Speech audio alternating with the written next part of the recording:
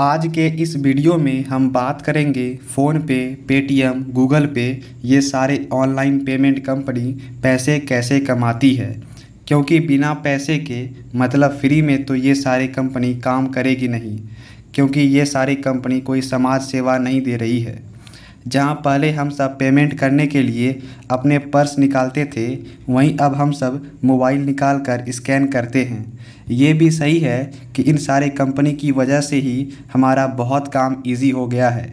जहाँ हम बैंकों के चक्कर लगाते थे, वहीं अब बस एक क्लिक से बैंक में पैसे ट्रांसफ़र हो जाते हैं। इनके इतने फ़ायदे के बाद जानते हैं इनका बिज़नेस मॉडल क्या है और इनका रिवेन्यू मॉडल क्या है। मतलब ये सारी ऐप पैसे कैसे कमा रही है? अगर देखा जाए तो ये ऐप्स कमीशन से पैसे कमाती है।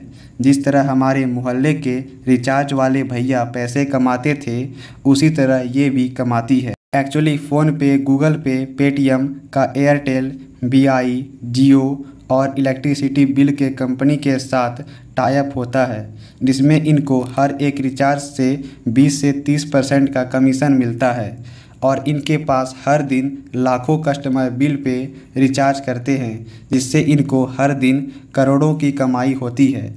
इसलिए हमारे हर एक रिचार्ज से ये कुछ ना कुछ कमीशन ज़रूर कमाते हैं।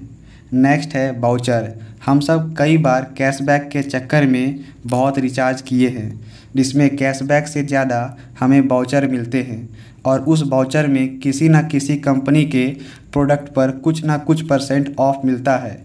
फिर आप उस कंपनी के कूपन कोड डालकर शॉपिंग करते हो।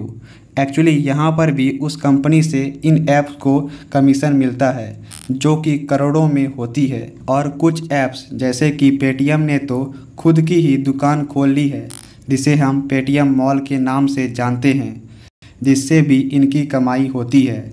नेक्स्ट है एडवर्टाइजमेंट जब आप कोई भी ऐप खोलते हो तो उस ऐप में बहुत सारे कंपनी के ऐड नज़र आते हैं। और ये ऐप उस कंपनी से अच्छा खासा पैसे चार्ज करती है।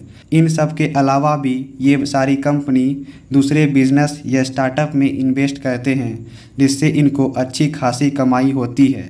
तो ऐसे कमाती है ये सारी कंपनी हमसे पैसे। इसी तरह के इन्फॉर्मेटिव वीडियो देखने के लिए हमारे चैनल को सब्सक्राइब कीजिए।